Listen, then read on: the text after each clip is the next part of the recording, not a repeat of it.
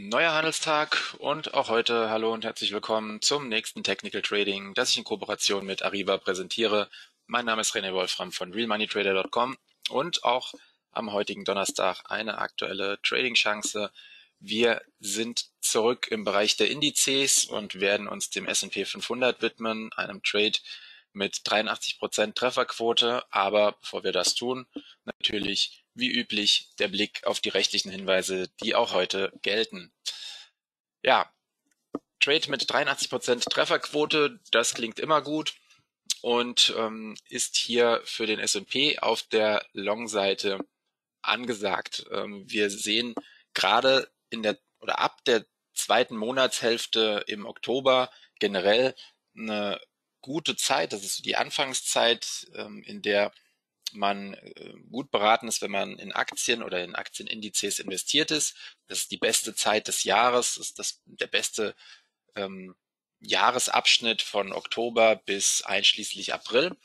Und innerhalb dieses relativ langen Zeitraums ähm, gibt es Zeiten, in denen es ja nochmal ähm, eine, eine, eine Häufung gibt von starken Phasen und da ist die Phase Ende Oktober, Anfang November ist so eine Phase, die eben da nochmal besondere ähm, Relevanz hat, eine besondere Signifikanz hat. Und äh, genau die wird mit diesem äh, saisonalen Setup gehandelt.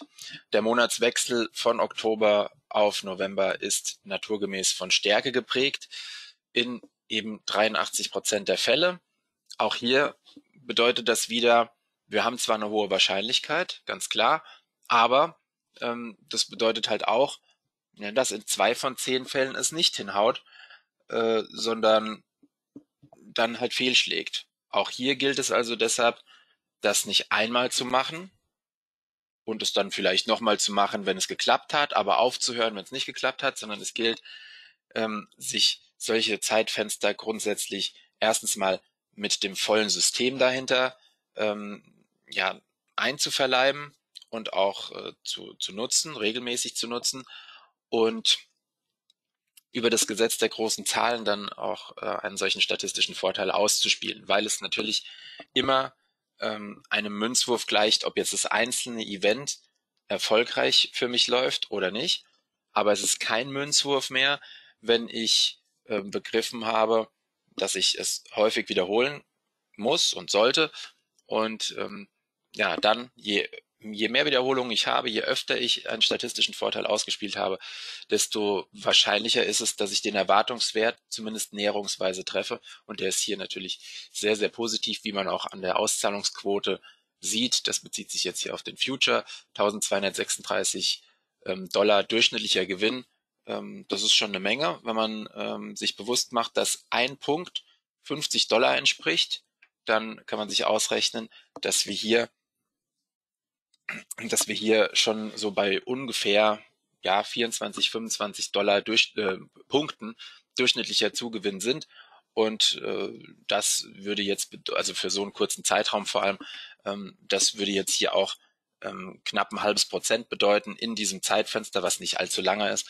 Das ist schon ganz ordentlich als durchschnittlicher Gewinn, weil das bedeutet ja auch, dass dort einzelne Ausreißer sind im positiven Sinne, die viel, viel mehr machen. Ähm, von daher, das ist das Setup, äh, auch, auch für den FDAX, äh, beziehungsweise den DAX werden wir jetzt in diesem Zeitfenster Trades bekommen.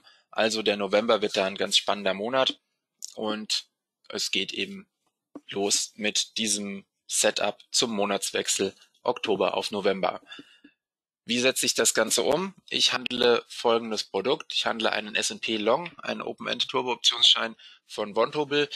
Der Hebel liegt bei 8,2 ungefähr. Die WKN lautet VQ6A44. VQ6A44.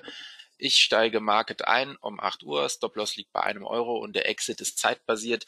Das genaue Regelwerk kann ich hier in diesem Rahmen nicht offenlegen, weil das Bestandteil der Ausbildung ist. Ähm, bei den Short-Term Seasonals, wer da an einem Seminar teilgenommen hat oder noch künftig teilnimmt, ähm, der kennt diese Strategie und ähm, weiß, wie äh, da die genauen Ein- und Ausstiegsmodi sind. Die kann ich hier jetzt nicht natürlich offenlegen, aber es hilft trotzdem auch schon mal, wenn man weiß, Monatswechsel Oktober auf November ist gut. So die erste Woche ähm, roundabout mm, ist häufig von Stärke geprägt. Das bedeutet nicht, dass es danach Schwäche gibt. Es bedeutet nur, in der ersten Woche haben wir eine hohe Regelmäßigkeit oder eine noch höhere Regelmäßigkeit.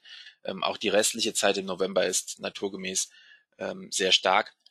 Ähm, deshalb ist das auch ein Trade, den man durchaus noch länger halten könnte. Wenn man jetzt sagt, man möchte Positionen aufbauen und auch ähm, über den gesamten Winter möglicherweise mit Long-Positionen engagiert sein im Markt, das wäre durchaus auch möglich. Hier geht es aber erstmal nur darum, um diesen Monatswechseleffekt von Oktober auf November. Da haben wir eben eine große Signifikanz. Was dann danach kommt, ist hiervon unberührt. Das äh, schließt das weder aus, noch inkludiert es das, sondern es geht jetzt hier erstmal um diese kurzfristige Szenerie. Das war's für heute. Ich wünsche allen einen spannenden und erfolgreichen Handelstag und verabschiede mich bis zum nächsten Technical Trading. Macht's gut. Ciao.